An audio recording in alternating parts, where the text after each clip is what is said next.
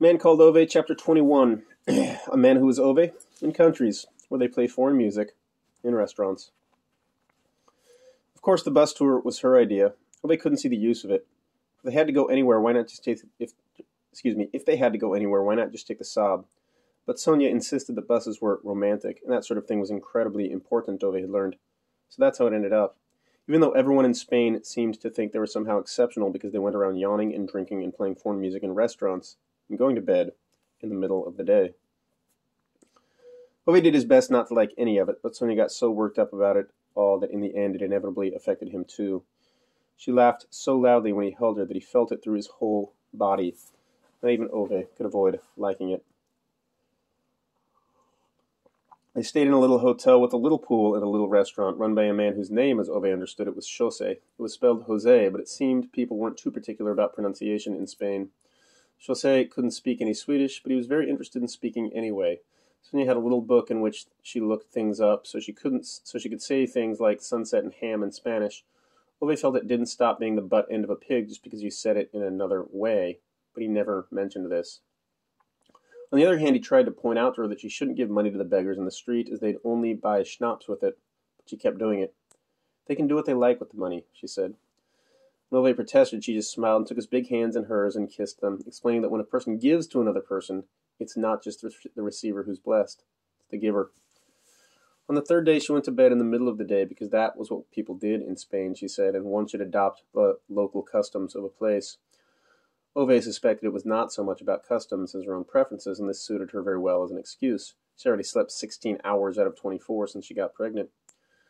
Ove occupied himself by going for walks. He took the road leading past the hotel into the village. All the houses were made of stone, he noted. Many of them didn't appear to have thresholds under the front doors, and there were no decent window seals to be seen. Ove thought it slightly barbaric. One couldn't bloody build houses like this.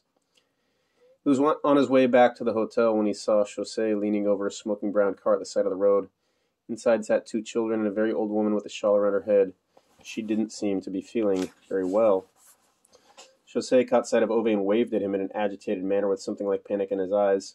Senor, he called out to Ove, the way he'd done every time he'd spoken to him since their arrival. Ove assumed it meant Ove in Spanish, but he hadn't checked Sonia's phrase book so carefully. Jose pointed at the car and gesticulated wildly at Ove again. Ove stuck his hands in his trouser pockets and stopped at a safe distance with a watchful look on his face. Hospital, Jose shouted again and pointed at the old woman in the car. In fact, she didn't look in very good shape, Ove reaffirmed to himself. Jose pointed to the woman and pointed into the hood of the smoking engine, repeated despairingly, Hospital, hospital.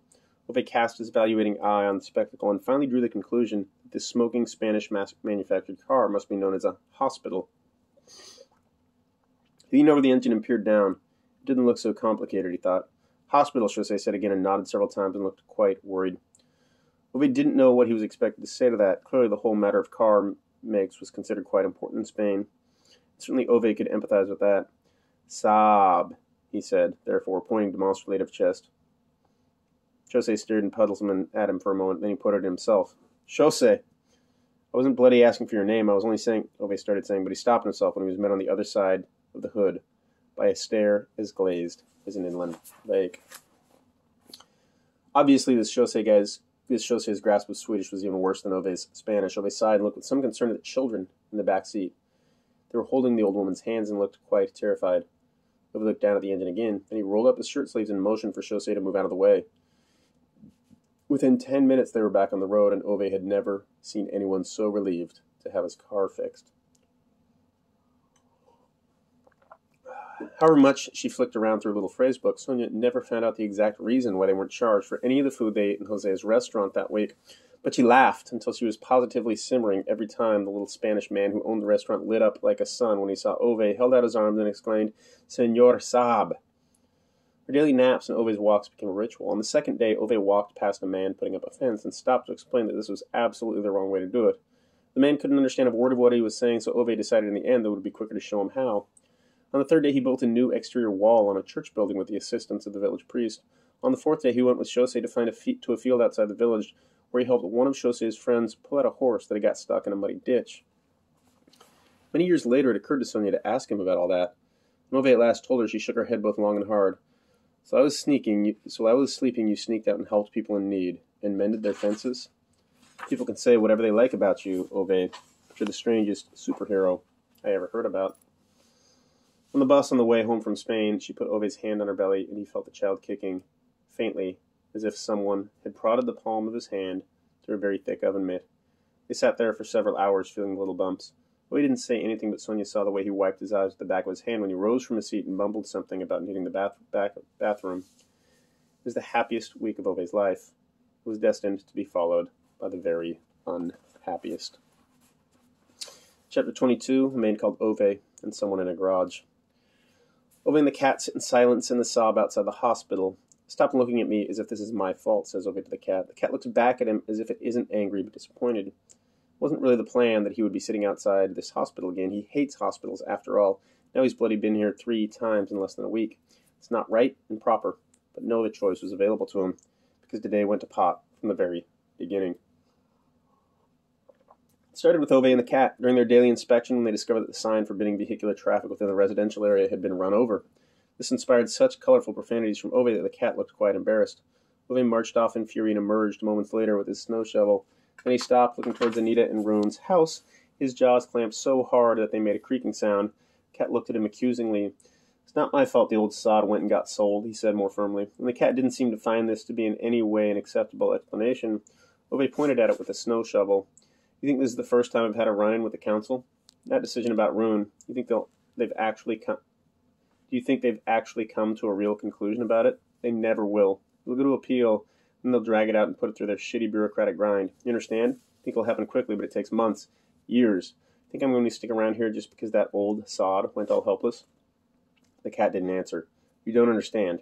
Understand? Ove hissed and turned around. He felt the cat's eyes on his back as he marched inside. That is not the reason why Ove and the cat are sitting in the Saab in the parking area outside the hospital, but it does have a fairly direct connection with Ove standing there shoveling snow when that journalist woman in her slightly too large green jacket turned up outside his house. Ove, she asked behind him, as if she was concerned that he might have changed his identity since she last came here to disturb him.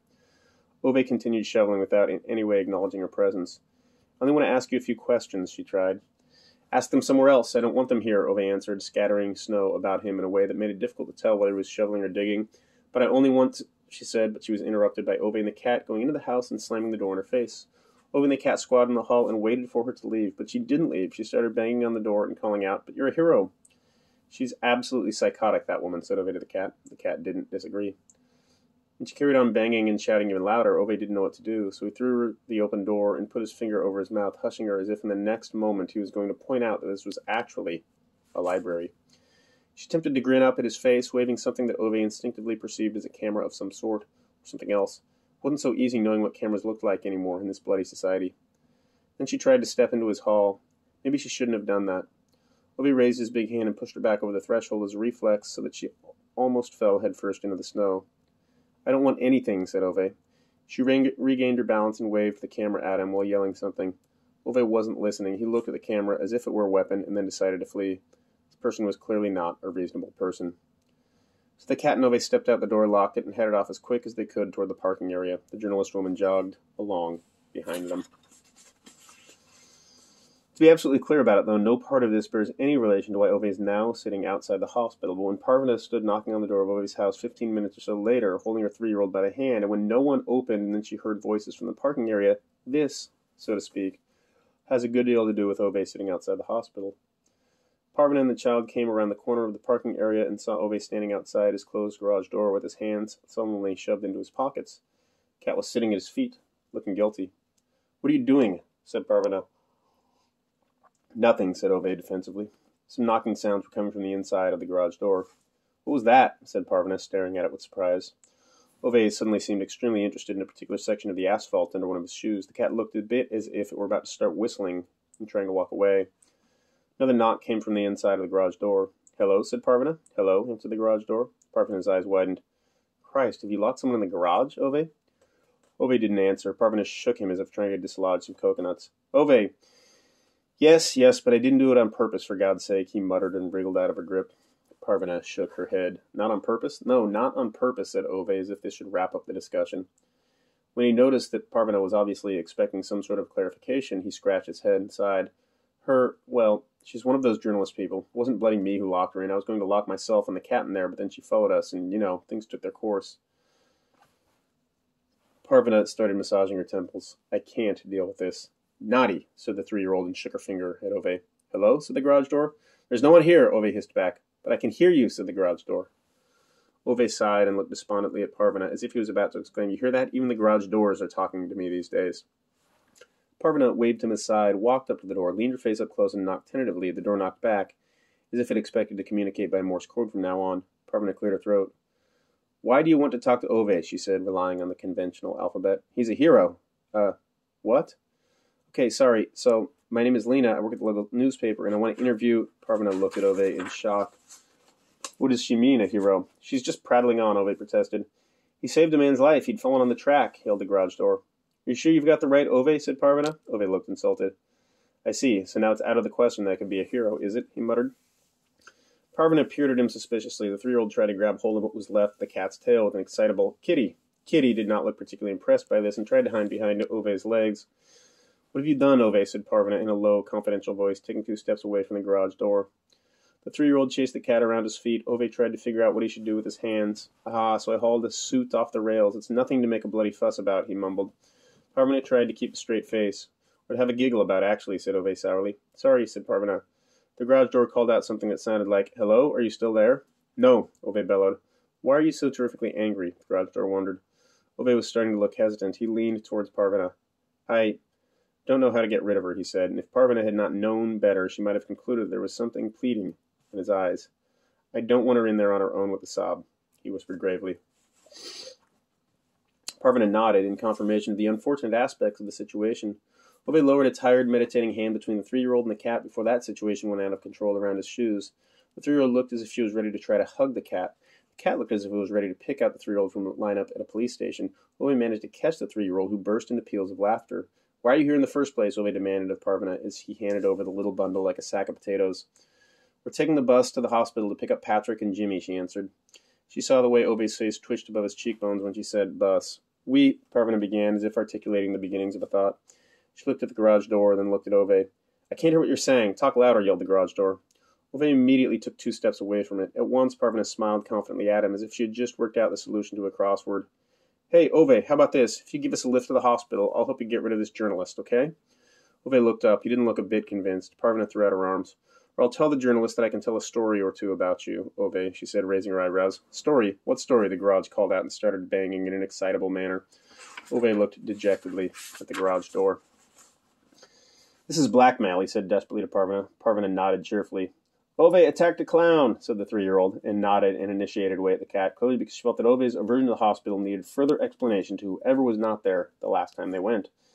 The cat seemed not to know what this meant, but if the clown had been anywhere near as tiresome as this three year old, the cat didn't take an entirely negative view of Ove hitting someone. And so this is the reason why Ove is sitting here now. The cat looks personally let down by Ove for making it travel all the way in the back seat with a three-year-old. Ove adjusts the newspapers on the seats. He feels he's been tricked. When Parvana said she'd get rid of the journalist, he didn't have a very clear idea of exactly how she'd manage it. Obviously, he didn't have expectations of the woman being conjured away in a puff of smoke or knocked out with a spade or buried in the desert or anything of that kind. In fact, the only thing Parvana had done was to open the garage door, give that journalist her card, and say, Call me and we'll talk about Ove. Is that really a way of getting rid of anyone?